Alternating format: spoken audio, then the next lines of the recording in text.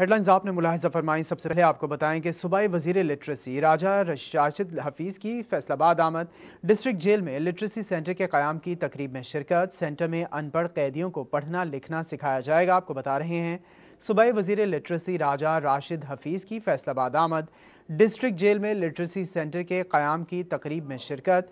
Centre میں ان پڑھ قیدیوں کو پڑھنا لکھنا سکھایا جائے گا۔ بات کے لیے تو جہانگیر اشرف سے جہانگیر بتائے گا آمد کے حوالے سے۔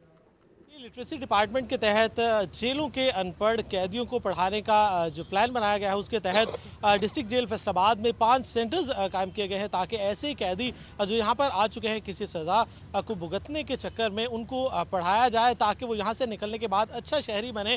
اس حوالے سے آج یہاں پر minister literacy and non formal basic education Raja Rashid Hafeez موجود ہیں، جنہوں نے سینٹر میں کتابیں بھی تقسیم کی اور قیدیوں سے گفتگو بھی کی۔ ان سے بات کرتے ہیں، سر بتائے گا کہ جیلوں میں ایسے قیدی جو کہ ان پڑھ ہیں اور کسی نہ کسی جرائم کی صورت میں آ چکے ہیں۔ بہت اچھا اقدام ہے کہ ان کو پڑھایا جائے گا۔ شاید اس سے ان کی لائف چینج ہو جائے اور باہر جب یہاں سے نکلیں تو یقینی طور پر تعلیم جو ہے وہ انسان کے اندر ایک سافٹ کارنر بھی پیدا کرتی ہے۔ کیا سمجھتے ہیں کہ قیدیوں میں چینج لایا جا سکے گا؟ کیا ممکن ہے کہ ان کو یہاں پر جو پڑھایا جائے گا، جتنا بھی عرصہ ان کو باہر جا کر ان کی لائف میں کوئی چینج آئے گا؟ اس حوالے سے کیا کہتے ہیں؟ لٹریسی ڈپارٹمنٹ کیا اقدامات اٹھا رہا ہے؟ دیکھیں بیسکلی اسی کانسیپٹ پہ کام کیا گیا کہ ایک قیدی جو کسی جرم کر کے اندر آیا ہے جیل میں، تو وہ ان پڑھ ہے۔ بالکل اس نے کبھی سکول دیکھا نہیں ہے، پڑھائی کی طرف گیا نہیں۔ تو اس کو ہم یہاں پہ لٹریٹ کریں گے جتنا عرصہ وہ موجود ہوگا یہاں پہ۔